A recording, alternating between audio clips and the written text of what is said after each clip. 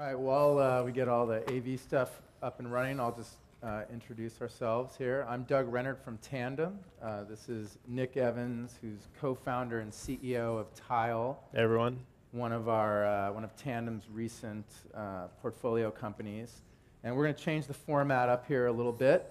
Uh, we're going to talk about wearables, um, but a different type of wearable. We're going to talk about wearables for our stuff or our things, which is one of the areas that really excites us at Tandem. Tile was our, our first investment. So let's get things queued up here and we'll jump in.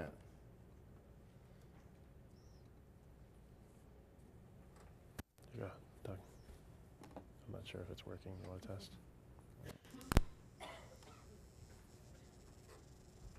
Thank you. You want to go back? What's the deal? Why don't you just do it? Because Sure. it's not. Uh, Oh, oh. Sorry? Pull up a slide. Pull up a slide? oh, can you pull up the deck, please?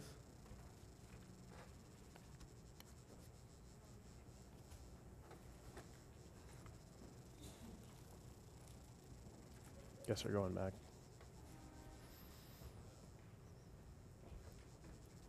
Okay, no problem.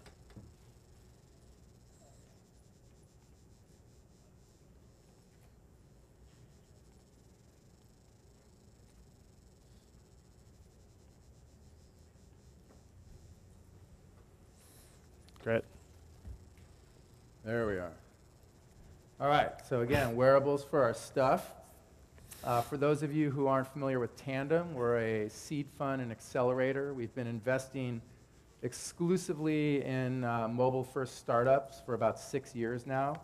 We basically write the first two to $300,000 check for about 20 companies every year. Um, and we'll often invest millions more as a company starts to grow.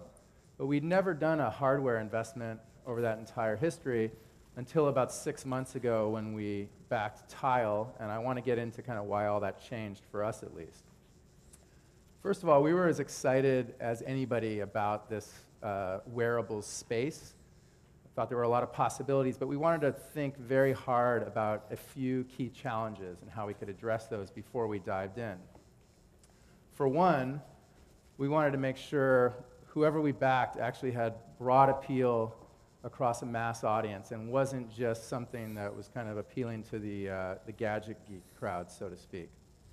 Uh, secondly, we didn't want to be constrained by the uh, space on the human body. We felt that was a little too limiting. And third, and probably most important, um, we wanted to limit the number of times somebody had to charge a, a piece of hardware.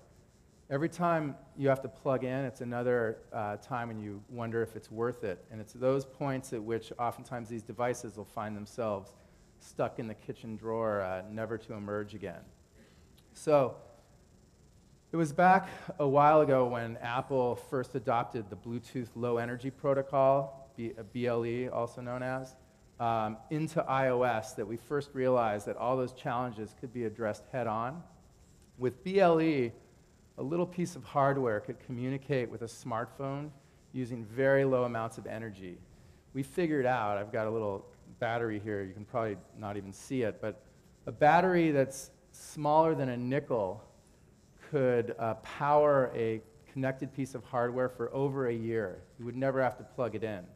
That would have taken four AA batteries uh, in order to do the same thing with the original Bluetooth protocol.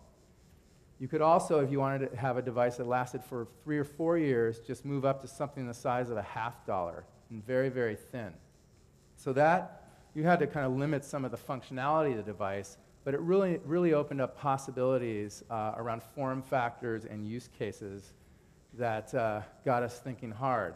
The other very cool thing about BLE is now that it's used by all these smartphones out there, and it's a standard, you can actually start building networks of millions of receivers out in the wild, and eventually even hundreds of millions of receivers. Basically, we're the receivers, you and I walking around with our smartphones.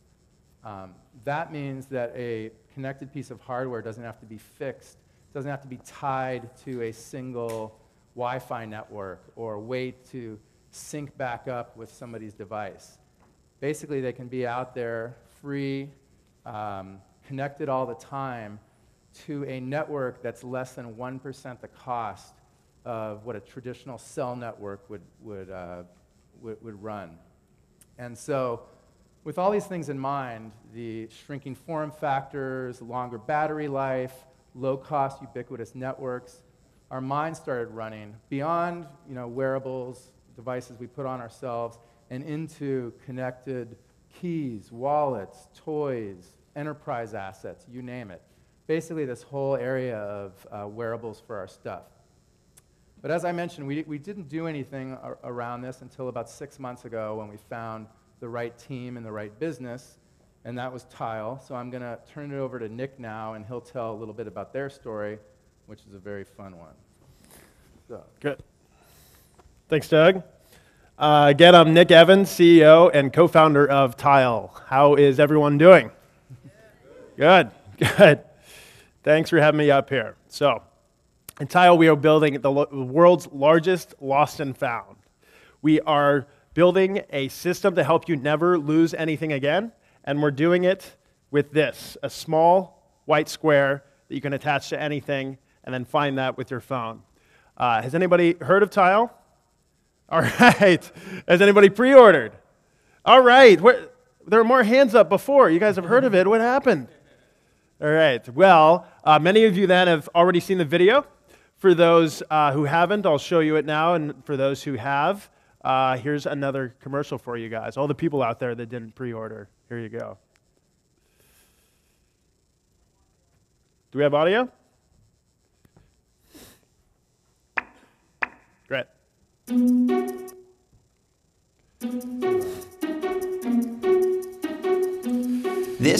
is Tile. Tile helps you find things, anything. Stick it to your laptop and worry less. Attach it to your keys and never be late. Drop it in your purse and you're good to go. It works very simply. Finding things with Tile is easy. Through the Tile app on your phone, you can track distance to your lost item. The app shows you as you get closer. And Tile has other features too. You can log into your Tile account on anyone's smartphone to search for your items. And you can also activate a tile to ring so you can find it by sound.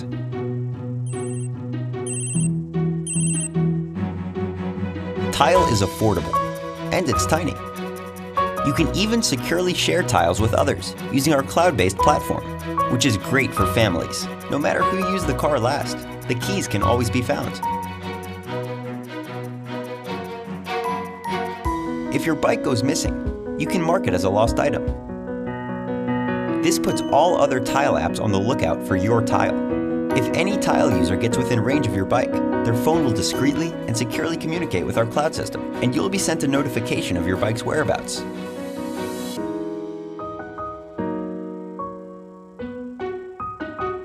Let Tile find the small things, so you can find the big ones.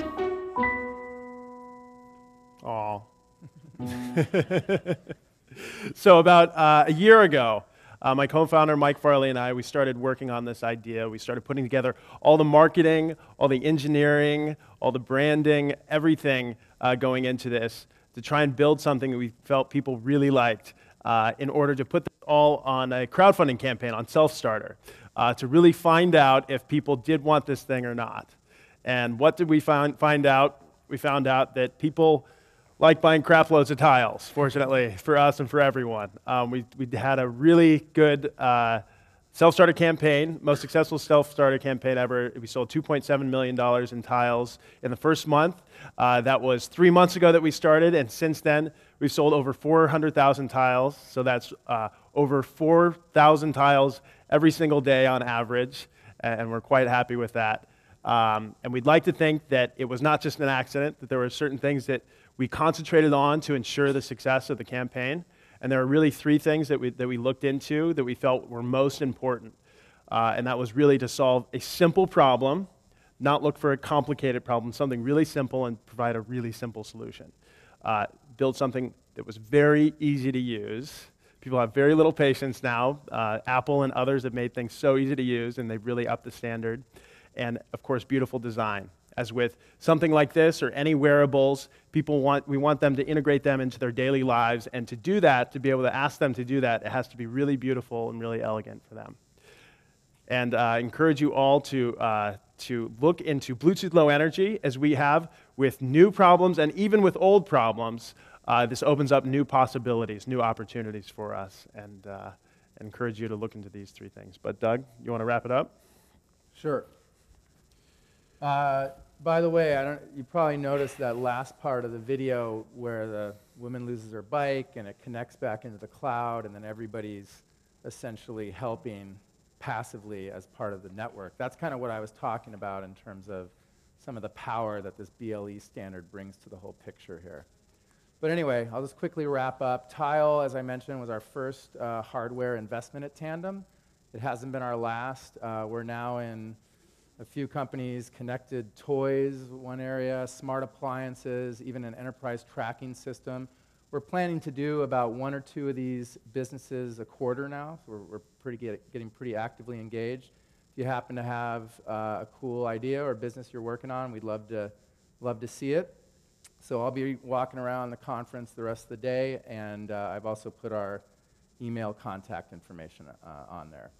All right, look forward to hearing from some of you, and thanks so much for your time. All right.